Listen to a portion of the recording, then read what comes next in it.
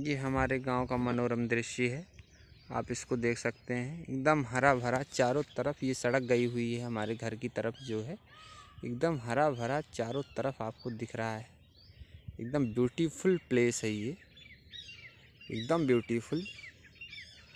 और यहाँ पर ये छोटी सी पुलिया बनी हुई है यहाँ पर। और आप देख सकते हैं कि कितना हरा भरा है यहाँ पर। एकदम ब्यूटीफुल प्लेस है ये। ये देख रहे हो आप, नदी है।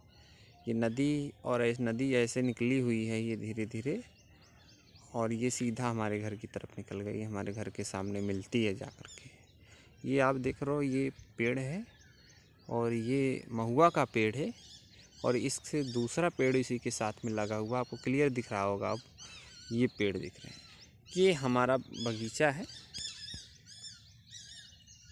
देख रहे हो हमारा बगीचा कितना बड़ा और सुंदर है और हमारे बगीचे के अंदर एक छोटा सा सुंदर सा स्कूल भी बना हुआ है, जो कि बहुत ही सुंदर दिख रहा है। तो यहाँ क्या है कि गाँव में गर्मी की छुट्टियों में बहुत अच्छा लगता है। घर से आ जाओ और बगीचे में आकर के बैठो और यहाँ पर बढ़िया हवा भी लगती रहती है। तो ये बहुत अच्छा लगता है तो इसका इंजॉय जो गाँव में रहते हैं, वही लोग कर पाते हैं और बाहर से जो लोग आते हैं, उनको तो बहुत अच्छा लगता है। तो आप देख रहे हो, ये मनोरम दृश्य जो कि आपको दिख रहा है। बढ़िया ब्यूटीफुल प्लेस है और वो देखो, आपको सामने बगीचे दिख रहे हैं।